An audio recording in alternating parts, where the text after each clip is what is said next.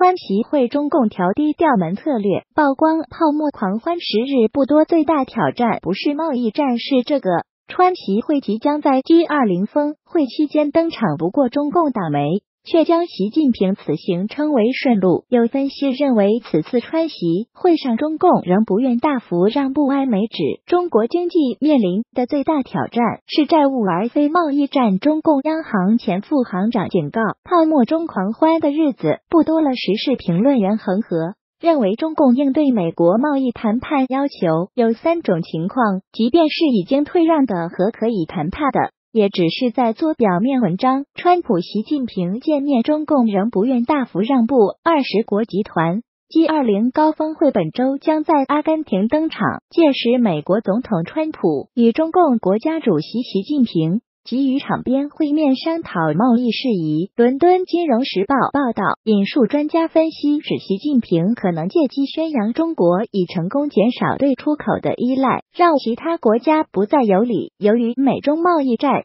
中选择与美国站一边。市场研究公司加富龙州政策分析师谢元梅认为，虽然中共见到有机会可阻止美中摩擦升温，但仍不愿对美国大幅让步。最可能的方式是祭出技术性让步。阿波罗网报道，美国贸易代表莱特希泽上周就根据美国的最新调查报告，炮轰中共根本未改变行为与伎俩，预示本周川崎。会达成重大协议的希望蒙上一层阴影。美中激烈争执也让亚太经合会 APEC 十八日闭幕时破天荒未发表公报，五天后才发表声明，以中性言论指出：我们敦促各国以自由、公平和公开的方式促进贸易。赞助商链接赞助商链接金融时报报道指出，分析师认为中共在 G 二零峰会上可能。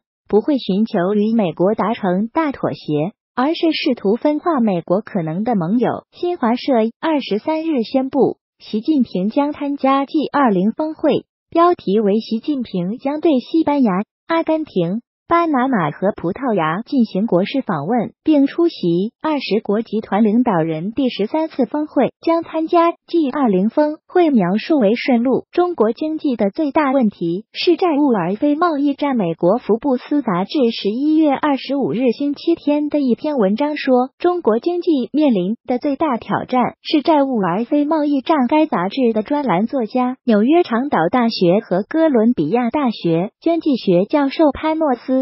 莫道寇塔斯 （Panos Modautautas） 在这篇评论中指出，虽然中共官方的数字趁国债占国民生产总值 （GDP） 的比重仅为百分之四十七点六，但非官方的数字，如国际金融协会上星期说，这一数字则高达百分之三百。国际信用评级机构穆迪 （Moody's） 和标准普尔 （Standard Amp）。Poor is 到目前为止，在评级过程中，还都没有将中共非官方债务规模考虑在内，而这也就是为什么中共的信用评级跟美国和日本等国家接近的原因所在。中国大陆有媒体曾报道说，中国人人均负债十三点三四万元，债务总额接近二百万亿。在美洲贸易战冲击之下，中共在今年八月决定鼓励银行增加放贷，并再次允许负债累累的地方政府上大型项目，以应对日益放慢的经济增长。赞助商链接赞助商链接中共央行前副行长吴晓玲。在今年七月曾警告说，在泡沫中狂欢的日子不多了。恒河中共作表明，文章本质不变。副总统彭斯在新加坡接受华邮采访时，正式提到了冷战，也列出了中共必须要改革的几个方面。时事评论人士恒河表示，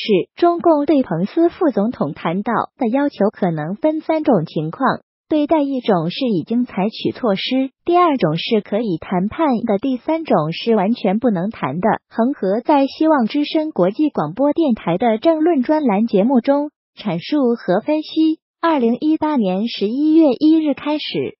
中共降低了一千五百八十五个税目工业品等进口关税税率，还提出来要加快口岸的通关便利化，要减少进出口环节的监管证件，要降低合规费用等等，这些都可看作对美国提出来的要求的非正式回应。但是在宣布部分商品进口减税以后，不到两周，中共又把出口退税增加了。第二部分是可以谈判的。恒河认为，中共答应增加在某些领域就是外国投资可持有的比率，这些属于可谈判的。之前中共规定很多领域是不能投资的，还有一些领域是只能投资不超过百分之五十，就是彭斯所讲的取消进入中国市场的限制市场准入问题可以谈。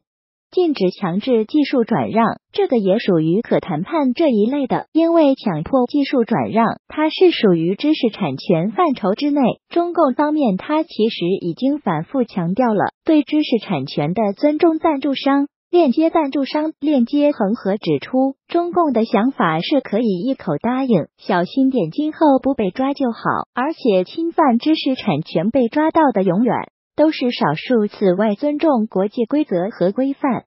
这个也是可以谈的，因为中共他从来就声称他是遵守的，只是说他不执行而已。这方面就是要很费力的谈。第三部分就是不可以谈的这部分，他是坚决不承认，也绝对不会改。这些就是跟中共他的统治权生死攸关的事情，比如说金融市场的全面开放，一些国企垄断的领域，中共有的时候会做出一些象征性的姿态。比如十一月份允许美国的运通公司在中国境内设立银行卡的清算机构，这是到目前为止批准的第一家。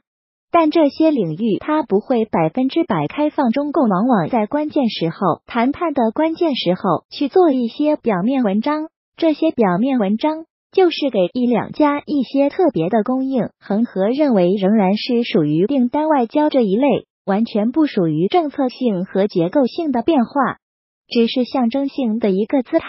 此外，信息封锁属于完全不可谈判的。恒河说，即使一个什么西方的媒体公司或者是网络公司能到中国开展业务，但不可能是像正式开放的这种性质，只是象征性的让你在中国开一个研究所，就是进行基础研究，而不会让你真的去和那些中国的百度。腾讯直接竞争阿波罗网。灵异综合报道。